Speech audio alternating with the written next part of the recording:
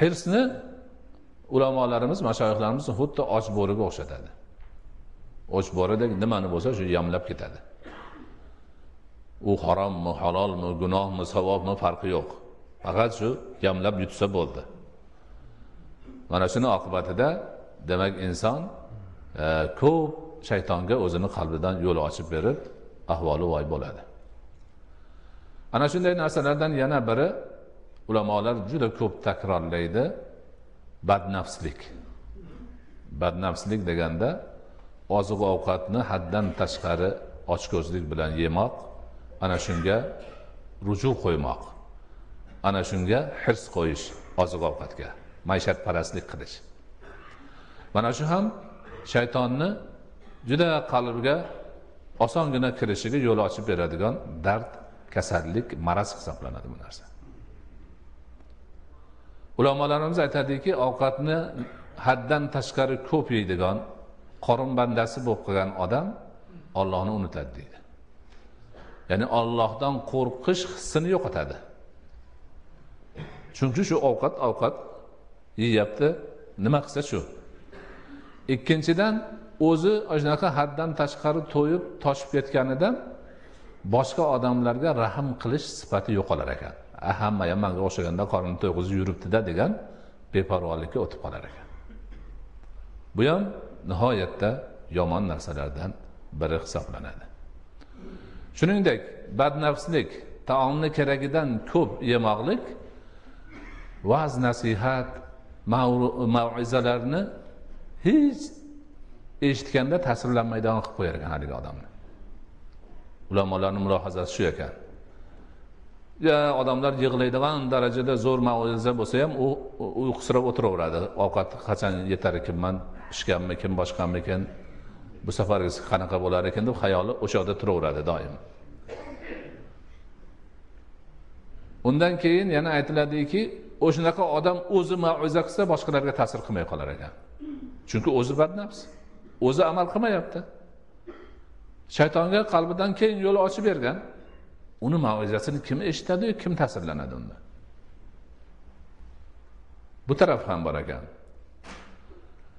Ana undan keyin mana shu badnafslik haddan tashqari ko'p ovqat yeyish oqibatida insonni sog'lig'iga turli taraflardan zarar yetadi deydi. Bu ulamolarimiz o sakkiz yuz yil to'qqiz yuz yil oldin gapirgan bugungi aytilayotgan gaplar bizni ulamolarimizni gaplarini takrori. O'sha vaqtda bizni ulamolar aytib bu narsalarni belgilab qo'ygan. Demak biz shaytonga qalbimizdan yo'l ochmaylik deydigan bo'lsak me'yorida ovqatlanishimiz kerak. Me'yorida ovqatlanish odobi bor. Hajmi hamma narsasi aytilgan. Rasuli akram alayhissalotu vassalomni hadislarida bor. Juda ko'p yeydigan bo'lsa deyiladi qornini uchdan biri ovqatga uchdan biri ichimlikka bo'lsin uchdan biri havoga tursin. Undan ortig'i ortiq hisoblanadi. Kam bo'lsa o'zini kuchsizlanib qoladigan darajada kam bo'lishiga ham haqqi yo'q. Yaxshi qomatini tutib turadigan kuchli bo'lib yaxshi yuradigan sog'lom yuradigan darzda yesin lekin ko'paytirib yubormasin. Shaytonni qalbga yo'l ochib kiradigan eshiklari derazalaridan yana biri zebi ziynatga berilish zebi ziynat ho hovli joyda bo'lsin ho kiyim kechakda bo'lsin ho markabda bo'lsin ho boshqada bo'lsin bu ham ollohni unutib shaytonni vasvasasiga yurishga sabab bo'ladigan narsalardan. Uyini qarab u yerini qil bu yerini qarab palonchinikidan o'tish kerak.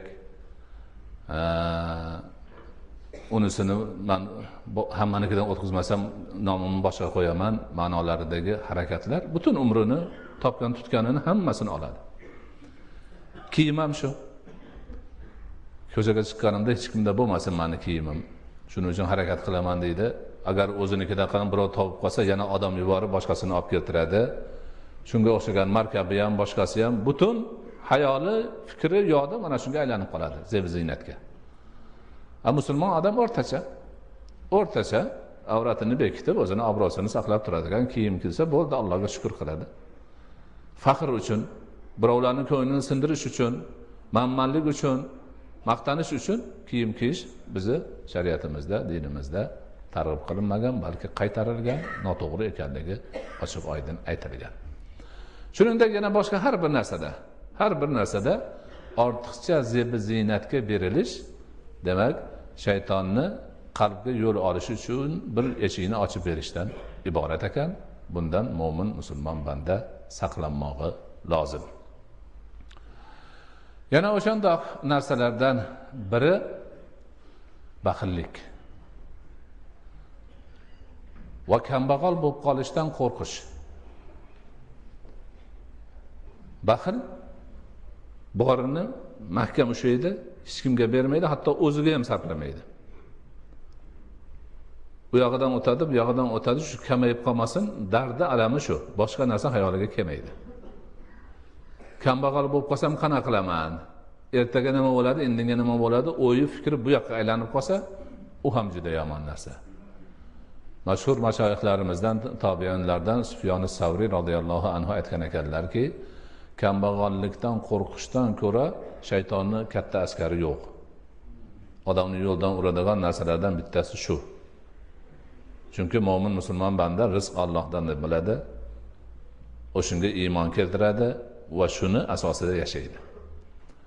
Lekin haligi xavfni o'zini qalbiga solib olgandan keyin bo'ptida endi. Shaytonga katta bir eshikni ochib beribdi uni qalbiga kirib olib xohlagan vasvasani u qilaveradi. Ho'p yana shunaqa eshik deraza shaytonni qalbga yo'l olishiga yordam beradigan narsalardan bittasi ho'p moli dunyo muhabbati moli dunyo muhabbati moli dunyo me'yorida bo'lsa yaxshi. Insonni ko'nglini to'q qiladi. Hech narsasi yo'q bo'lsa ham tashvishda qoladi. Lekin boru me'yorida. Me'yorida turibdi. Inson molni o'zini foydasiga ishlatadi. Ibodati uchun ishlatadi halol pok bo'lish uchun ishlatadi bola chaqasiga birovlarga beradi yaxshi me'yorida. Lekin mol haddan ko'p bo'lsa molni muhabbati egasini qalbiga o'rnashib qolsa demak egasi molni quliga aylanadi. Mol u ana uni pulini tortib olsangchi man ko'payaman desa uni tortib oladi. Yolg'on gapirsang ko'payaman desa uni ham qiladi. Ya'ni mol nima aytsa shuni qilib yuguraveradi maqsadi ko'paysin.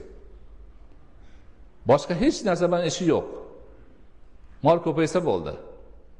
Ana moli dunyoni muhabbati insonni qalbiga o'rnashib qolsa shayton qalbga kirishi uchun katta darvozani ochgan bo'ladi.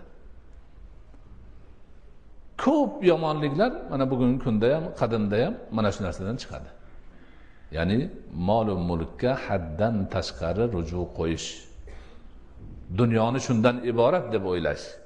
Bu katta bir dard hisoblanadi. Bundan ham albatta mo'min musulmon banda nihoyatda ehtiyot bo'lish kerak. Bu dardni o'ziga yaqinlashtirmaslik kerak. Shaytonni qalbiga kirib olishi uchun sharoit yaratib bermasligi kerak.